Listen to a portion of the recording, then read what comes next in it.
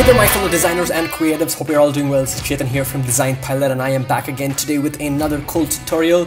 It's been a long time since I released a esports related tutorial so in this video we're going to be learning how to create a beautiful awesome presentation for esports mascot logo specifically.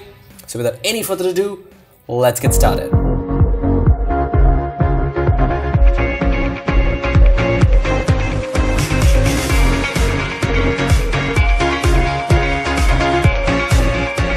Alright, so here I'm on Twitter and the inspiration for this came from Stylish Designs and he is a fantastic graphic designer. He does stream packs and logos, so if you guys are interested, definitely check him out.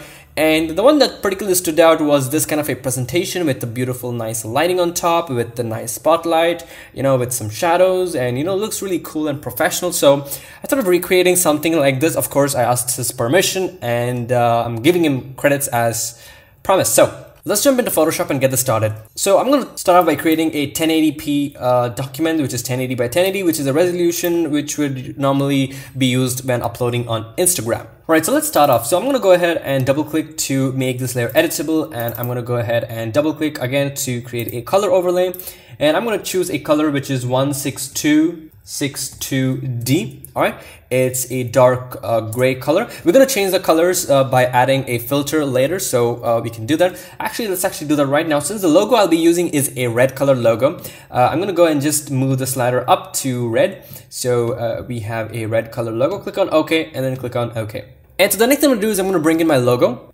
Actually, I'm going to make it a yellow color logo. So I'm going to quickly go ahead and go to gradient overlay and set this to a nice uh, orange to yellow gradient. Um, probably maybe make this a little bit more yellowish. Okay, and I'm going to set this to a radial gradient radial gradient and uh, yeah I think that's pretty good. Uh, now I'm gonna set this to actually a purple color not red uh, to give it a nice contrast. So purple that's uh, looking pretty good. And I'm gonna go ahead and uh, then just make a copy by pressing ctrl J. We're gonna hide the one for now. And I'm gonna take the one at the bottom and I'm gonna pretty scale this up pretty big okay and i'm to go ahead and add in a layer mask as you can see here. Now what a layer mask does it enables you to erase a, a certain part of the image without actually erasing it enabling you to bring back the original image if you wanted to. So i'm to go ahead and set my foreground color to black. I'm going to press B to get my brush tool and I'm going to set this to a soft brush which means the hardness is set to zero and I'm going to shrink it down by pressing my left and right square bracket keys. All right. And then I'm just going to go ahead and then just fade this away like so. Uh, pretty much something like that. And I'm going to set the opacity of this down to 10%. All right. So we can just faintly see what's happening. Let's actually do this again. I kind of want it to be uh, Perfect, so I'm just go ahead and just drag it like so. Okay, so. All right, let's actually set the opacity up to 10 right now, and then we can go ahead and do it. Yeah, I think that looks uh, pretty good. I think I'm gonna do it from scratch to make it perfect. So I'm actually gonna go ahead and uh, bring the logo to the center and, uh, you know, scale it uh, pretty big uh, from the center itself. So something like that. And uh, what we can do is set the opacity of this to 10, press B uh, to get the brush tool. Make sure you are on this thumbnail when using the brush and then just uh, we can get rid of the bottom part just like that. And also we can, if you want we can set the uh, blending mode of this to things like uh, luminosity. Uh, that's a different one. Let's actually rasterize this layer style, making sure that this is set to normal and then right click and then choose rasterize layer style and set the opacity to 100 and then we can actually put the layer mask on the other one for now right click and then choose rasterize layer style and then we can bring back the one over here and then set the opacity to 10 and now let's play with a couple of blending modes. Set this to luminosity see what we get. Uh, that looks pretty good actually. I think I'm gonna set this to 5 for now and uh, I think that's uh, pretty good.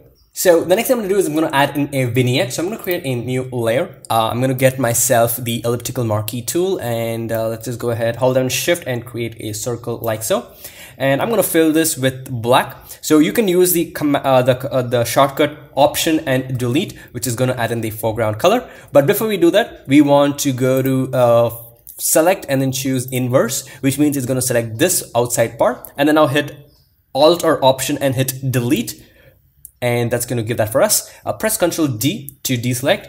Go to Filter, blur and then choose a Gaussian blur. Now the Gaussian blur is something that you can play around with. I'm going to set it to something like 70 and uh, probably even let's say 150 that's pretty big. I'm click on OK and then let's set the opacity of this to 10% or 20% and I'm going to press E to get the eraser tool. Make sure that my soft brush is set. And I'm going to hold down shift and then just get rid of the top part right and we can even go ahead and scale this if we want slightly okay and even increase the opacity of this to 35 depending on what you want and how you want it it's looking pretty good at the moment. So let's call this a faded logo. This is going to be BG. This is going to be vignette. And uh, we're going to come to the logo at the moment uh, later. Uh, but now we're going to create a new layer. Uh, press B to get the brush tool again. And this time make sure the foreground color is set to white.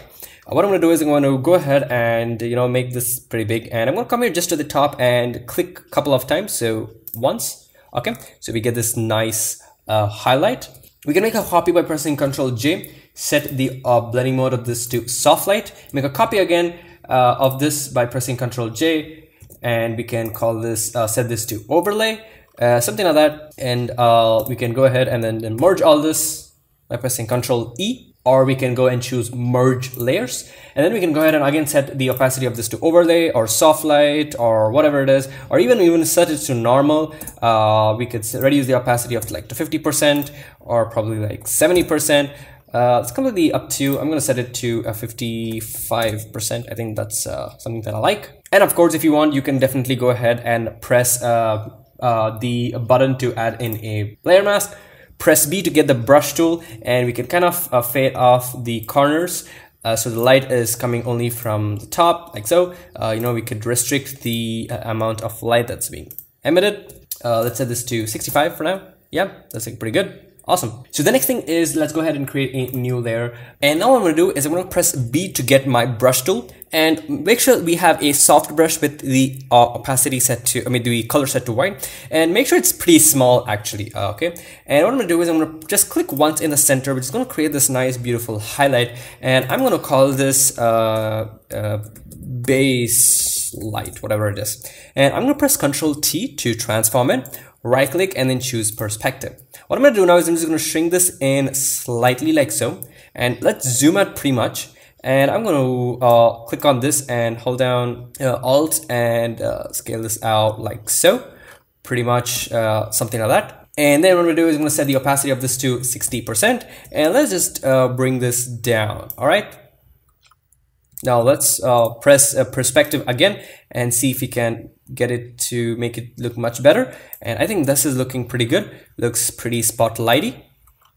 Uh, press Ctrl T, we can click on perspective again. Uh, let's see if we can do it a bit more. All right, I think this is looking pretty good. Now for the shadow, it's going to be a little bit different. What I'm going to do is I'm going to click here to create a, a layer and I'm going to call this a base shadow all right uh, press b make sure your foreground color is set to black and then just click once all right now press ctrl t. This time we're not going to use perspective we're just going to hold down alt or option on a keyboard and then just shrink this down like so and click on ok okay uh, we can press ctrl t hold down shift and alt on your keyboard and we can shrink this down and we could place that right over there. Now let's try a couple of blending modes and see what looks uh, good. Uh, whether anything kind of uh, matches the environment.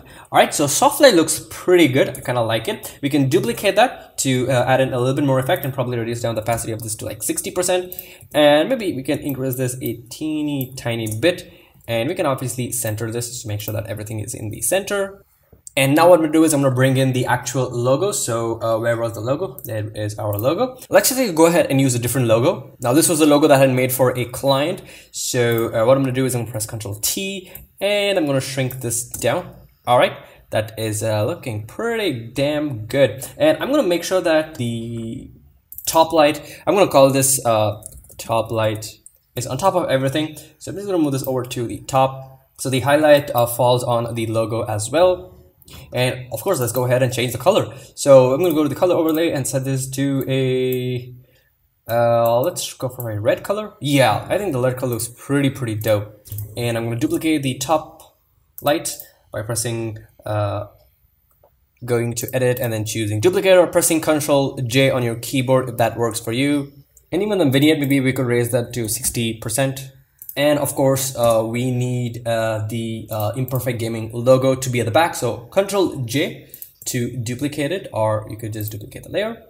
And you can bring this at the bottom, uh, place it over here, press control T, and let's just uh, scale this up pretty big. Okay, uh, let's just drag on this mask and we can delete this. this was set to luminosity and set to 5 right? So let's go ahead and do the same thing. Set the blending mode of this to luminosity and the blending mode to 5 the sorry the opacity to 5 and uh, looks pretty good. Okay so now let's go ahead and on top of the layer let's go ahead and create another uh, layer like so. I'm gonna press uh, B in my keyboard to get the brush tool and this time let's change it to a red color brush. Uh, but let's make it to a you know like a like a red color brush with this color and I'm gonna shrink it down pretty much and I'm going to tap here on the corners just once and twice. And I'm going to go and set the blending mode of this to linear dodge add and uh, reduce down the fill of this uh, the opacity of this to let's say like 10%. Uh, it, it's a pretty subtle effect. Uh, but uh, you know it kind of uh, makes it look pretty good. We could add one at the center as well. Yep, that look pretty good. And finally, another thing we can do is we can add in a new layer on top of the imperfect gaming logo layer. Let's go ahead and create a circle like so, uh, something like that. And uh, make sure to fill this with white. So hold on Alt and Delete on your keyboard to fill this with white. Press Ctrl D to deselect. Right click and then choose Create Clipping Mask, which is going to create a clipping mask like this. Let's set the opacity of this to like 5%. So you can probably see the, uh, the highlight uh, the reflection, I would say actually, and set it to 10%. Uh, that this completely depends on how you want it. So let's say to set to five, you could even set the blending mode of this to something like screen and it will look pretty different. So that's completely up to you. And finally, we can go ahead and then just group all these layers by selecting everything and press Ctrl G. We can name this logo. And now it's time for some color correction. Oh, one more thing I forgot is uh, we can go and create a new layer on top of everything and we can just uh, fill this with any color that we want doesn't matter right now. And we can go to stroke. Uh, set the stroke size to 2 or 3 depending on the size of your composition. Set the color of this to white. Click on ok. Click on ok. Uh, we also have to set the fill to 0 so we have only the stroke and then we can double click. Uh, let's actually not double click let's right click and then choose rasterize layer style. And then set the blending mode of this to overlay and uh, as you can see we get this nice thin beautiful border. Uh, that's pretty good. And uh, yeah and then uh, we can go ahead and do some color correction now. So the first one is we're gonna add in a color lookup. All right. And we're gonna go and choose the film stock one preset. And we could set the opacity of that to something like 30% we don't want it to be too dramatic. All right. You can see uh, the difference. Looks pretty pretty pretty dope. We're gonna add another color lookup. Uh color lookup color lookup and this time we could set this to something like uh, crisp warm. Okay? Or if we set it to crisp winter it's going to give you this bluish shade but let's go with crisp warm and set this opacity to 20% again. And let's make another one color lookup. And this time we could set this the opacity of this to 30% and set this to 3 strip. Look or 2 strip I mean it almost gives you the same effect but uh, doesn't matter all right right? Now now these bottoms are pretty dark so what I could do is I could go ahead and select uh, the uh, vignette and reduce that down to say something like 40% depending on what you want. And uh, there we go. So that's pretty much it for this video guys. Thank you guys so much for watching. Hope you guys really really really enjoyed it. If you have any questions or requests let me know in the comment section down below. Make sure to leave a like and subscribe to the channel for more awesome content. And I'll see you guys in my next video. So till then take care and bye bye